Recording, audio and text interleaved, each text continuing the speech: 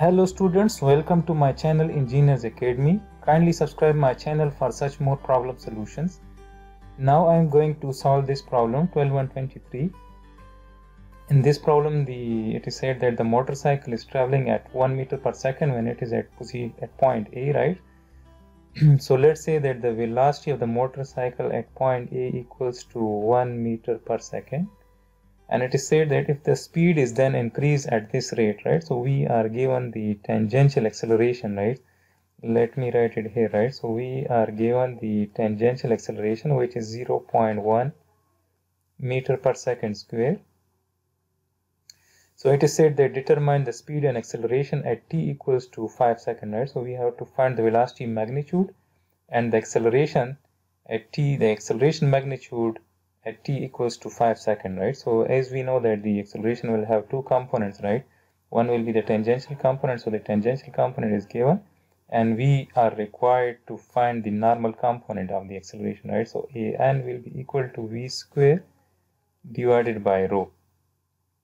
So first we have to find this velocity at t equals to 5 second right? So if we want to find this velocity so as we know that this at is equal to v dot and v dot is dv by dt so we can write that dv will be equal to 0.1 dt and we will integrate this from the initial velocity which is 1 meter per second velocity and this will be from 0 to t. So this will give us v minus 1 and this will be 0.1 t and this will be from 0 to t. And if we apply these boundary conditions so then we will get this 0.1 t right? So the velocity we can find the velocity at t equals to 5 seconds by using this equation right? So this will be 1 plus 0.1 into t.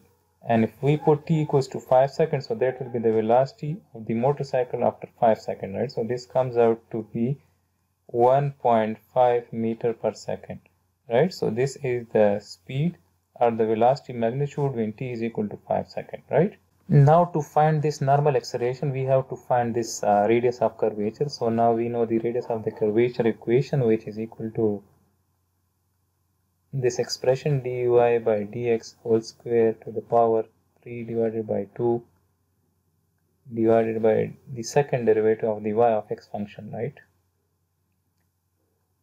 And since it's a distance so distance will always be positive so then we have to take the absolute value of this right so now uh, we are given this y of x function right? So we can write that this is y equals to 0.5 x square. So to find this radius of curvature we have to find the first derivative and the second derivative of this y of x function right? When t is equal to 5 second right? So at this particular instant we have to find the radius of the curvature right? So if we take the derivative of this with respect to x. So this will be 2 into 0.5 so 2 into 0.5 will be 1 right? So we will get this x. And d square y by dx square the second derivative will be equal to 1 right? So this is the second derivative. So now as we can see that in the given data only t equals to 5 second is given right? So we we do not know the information of the x the x coordinate of the position of the motorcycle. Let's say that this is the after let's say at t equals to 5 second the, this is the motorcycle position right? So at at this particular instant we know we do not know the x coordinate of its position right? And similarly uh, we cannot find this first derivative of x right? So then uh, there is a need of one another relation. We need to have a relationship between s and this x coordinate right in order to find uh, this x value. So to find the relationship between this s and x we can consider very small portion of this s right? So if i consider this portion of uh, this distance of the motorcycle let's say if we consider this line right?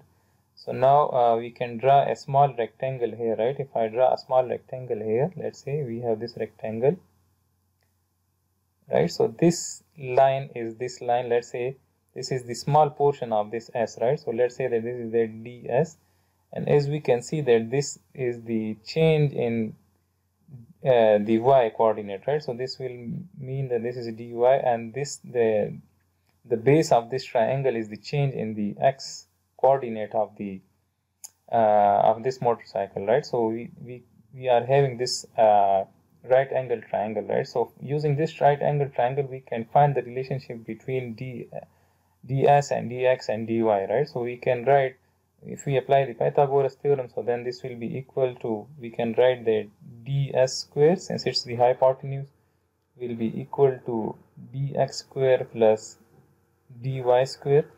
And if I take uh, dx square common from this term so then this will be dx square so then we will be left with 1 plus dy by dx whole square right? And if I take the square root on both side of the equation right? So if I take square root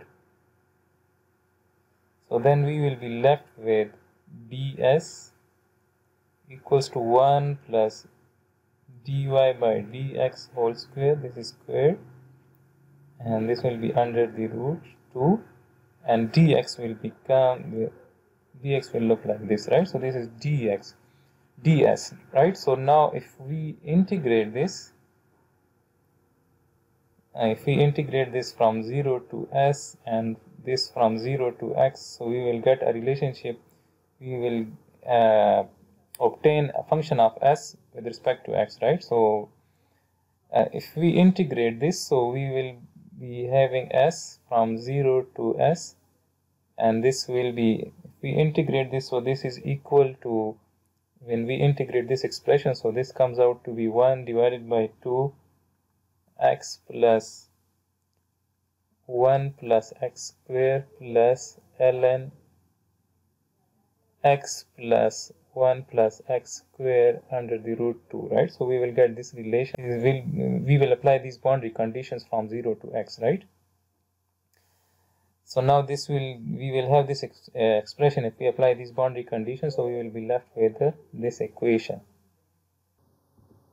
Now we have this equation uh, which relates s and x right? So now if we know the value of s after t equals to 5 seconds so then we can find the value of x, the x coordinates of the motorcycle position by using this equation, right? So now we have this equation which is v dv equals to at ds, right? So uh, we can integrate this and at is 0.1, right? So we know that this is 0.1, this is given. And we will integrate this from the, uh, from the initial velocity which is 1. So this will be from 1 to v and this will be from 0 to s, right?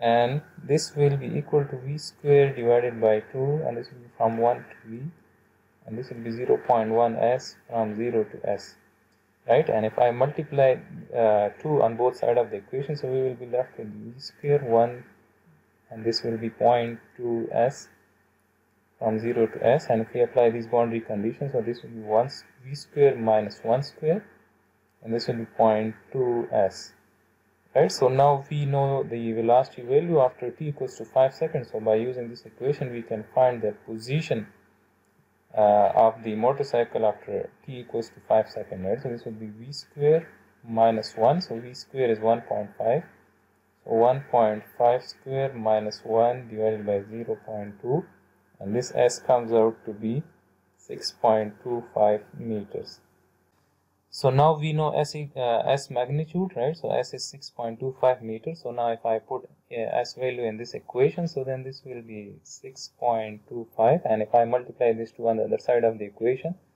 this will be 2 into 6.25 and this will mean that this is 12.5 right? So we can say that this is 12.5 or we can say that this whole equation is equal to 12.50 right? So now uh, this equation has no direct solution. So what we will do is that we will use the hit and trial method right? So we will use hit and trial method.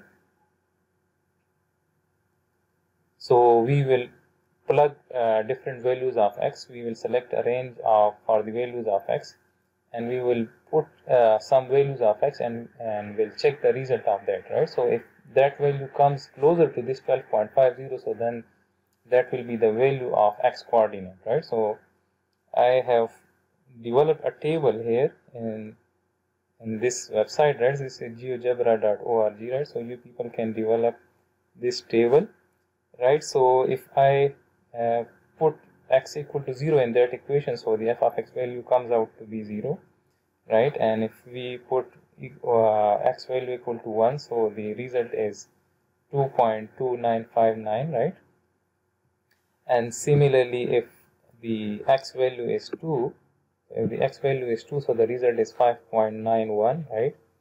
And if the x value is 3 so the result is 11.3052 and now as we can see that in the value is the x value is 3.2 so then it is very close to 12.5 right? So it is 12.60 so now we can say that uh, the x value is somewhere nearer to 3.2 right so we can say that the approximate value of the x coordinate is 3.20 meters right so now once we know this x value, so we can say that the first derivative of uh, this y of x function is equal to x, so which is equal to 3.20 meters.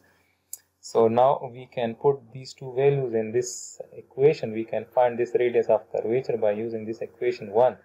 So we can find the radius of curvature. So we will put 1 plus dy by dx is 3.2. So we will put 3.2 and we will take square of this and this will be to the power 3 divided by 2 and this will be the second derivative so the second derivative is equal to 1 right so I will write 1 so this will give me the radius of the curvature so from this uh, equation we get the radius of curvature value which is 37.68 meters right? So now once we know this radius of curvature we can find the normal component of the acceleration. So then the velocity value is 1.5 right? So I will write 1.5 square divided by 37.68 so this uh, gives us the normal component of the acceleration equals to 0.059 meter per second square so now we know uh, this value of acceleration the this component of the acceleration so now we can find the acceleration magnitude right so the acceleration magnitude will be equal to a t square plus a n square under the root 2 so now we know that a t value is 0.1, right, which is given. So 0.1 square plus a n value, which is 0 0.059 whole square. So this will give us the acceleration magnitude of the motorcycle after t equals to 5 seconds. So this is the acceleration magnitude. So it is 0 0.116 meter per second square and this is the velocity magnitude.